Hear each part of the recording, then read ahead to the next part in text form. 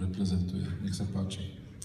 Uh, first of all, I would like to thank uh, the organizers of the conference for the possibility to share the vision of our company, the technology that is developed by us, and the ideas that we gathered from the very interesting exhibition that took place in Berlin InnoTrans 2016. Uh, and I would like to start uh, my speech with the words of Alexander Dobrindt, uh, German Minister of Transport, which he said at the opening event uh, of InnoTrans in Berlin. Digital age has already created all the conditions to create the new mobility, but such purely physical processes as the speed of obtaining permits, the regulatory system for railway transport, construction deadlines, the constant need for investment in the aging infrastructure, do not allow the society to receive the fruits of the digital age in such a cornerstone field as a transportation. There is a great gap between the things that customers require and the things that railway operators and manufacturers of railway technologies offer to them. One of the most discussed topics among uh, hundreds of exhibitors and thousands of specialists, engineers and managers of the transportation field was an ongoing process of digitalization and global change of a transportation industry. They called it a mobility 4.0. I tried to unite all the proposed views on the subject in a wide definition.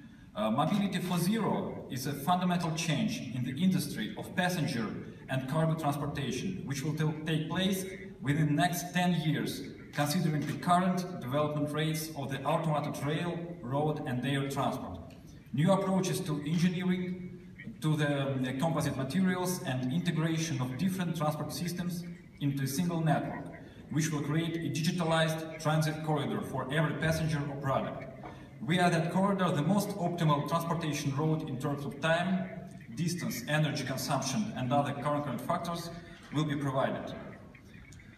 Um, one of the key roles in Mobility 4.0 plays smart technologies solutions that allow direct data exchange for V2V, vehicles to vehicles, V2WS, vehicle to way structure, and V2I, vehicle to infrastructure, thus helping reduce traffic accidents and pollution drastically. Processing of such data makes transportation of people, goods more predictable and optimized.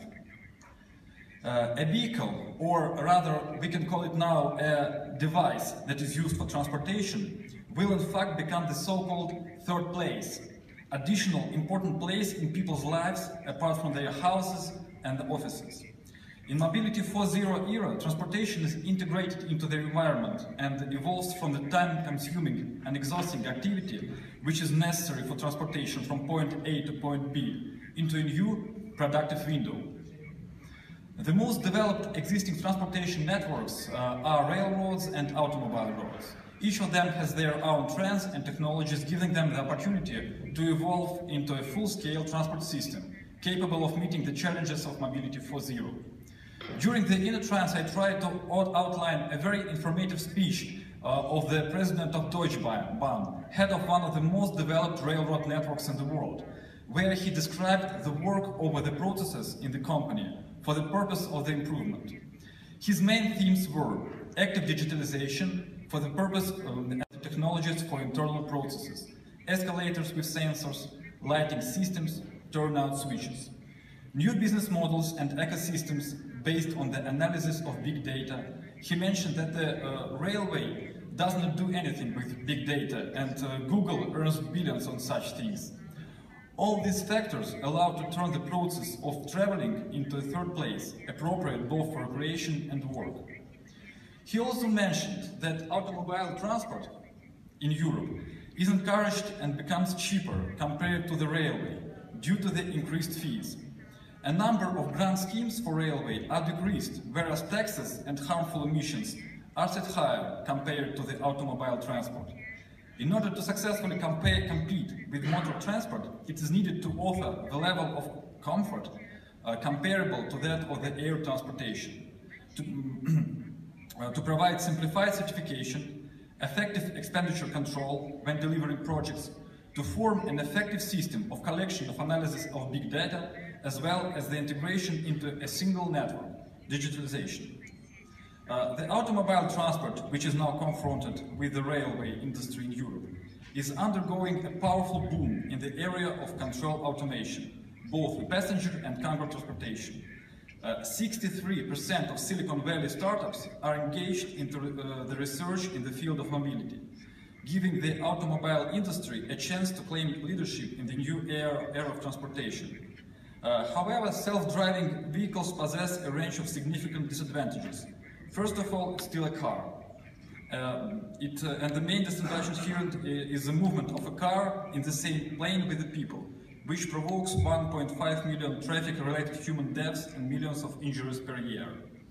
Technology companies and auto manufacturers who invest in self-contained means of transportation put a stake on that sudden future when roads will fully consist of driverless cars, thus decreasing pollution, traffic jams, and most important, traffic accidents. Uh, however, the coming of this future will be a gradual process. A self-driving car uh, has to somehow deal with the chaotic nature of human driving. So a great problem for self-driving cars still exists, the interaction with other human drivers on the road.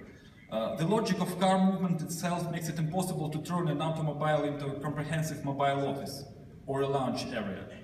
Car crash tests are designed for a person uh, seated vertically and fastened with a seatbelt. Relaxation in a horizontal position or availability of uh, objects in front of the face, such as laptop or a cell phone, uh, diminish the chances of survival greatly in case of uh, air cushion activation. Another great danger yet to be explored is the possible hijacking of driverless cars and their usage for terrorist attacks, Recent disastrous attacks in Nice or Berlin show that cars can be used by terrorists, and the mass implementation of a self-driving technology can boost this matter widely. Speaking about what can be the missing link that is free of the disadvantages inherent in the automobile and railway transport, and will form a basis for a comprehensive introduction of Mobility 4.0 into people's life, we can uh, identify a number of must-have traits. traits First one is a movement at different levels with the pedestrians. Efficient solutions for the first and the last mile problem. Optimal transportation for both passenger and cargo. Safe, clean, fast-mounted, cost-effective, designed for all weather conditions. Possibility to, use, possibility to use the travel time for work or relaxation. Uh, new transportation solutions, for example, like Skyway, that is being developed by our company, are possible successors of the second level transport. Why is it any better? And first of all, why is it possible?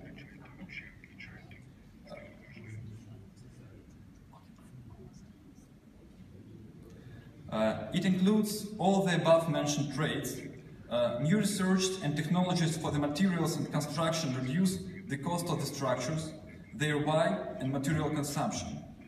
Availability to, of uh, V2I, V2V, V2WS systems that allow private vehicles or transportation pods to interact with transport clients, infrastructure and each other.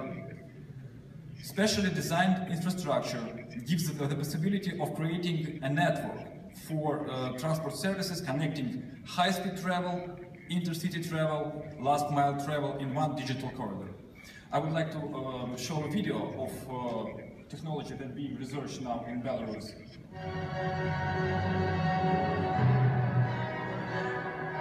So we implemented, we started the tests uh, in November 2016, last year. Uh, the transportation pod uh, has the possibility now to reach the speed uh, 70 kilometers per hour with the possibility to reach speed up to 150 kilometers per hour. This is the solution for recreational uh, areas or, for example, to connect city with the airport. In the conclusion, what I want to say, uh, the trend uh, for new transport solutions persists and grows. It is primarily motivated by the fact that the transport created in the 19th, 20th centuries fails to meet the challenges of the digital age. Information is transferred within seconds, its search and analysis have been maximally simplified. Money are transferred within minutes, whereas uh, financial technologies are already drastically changing the financial industry. However, cargo and passengers are still transported on the same principles, at the same speeds, and with the same level of comfort as in the 20th century. Automobile and railway transport do not meet all the requirements of the new digital Apple. Therefore, it is necessary to study and apply new transport solutions not only due to the current situation, but also with a view to the coming era of a completely different approach to the mobility of a person, the main user of a transport service, the mobility era four zero. Thank you very much.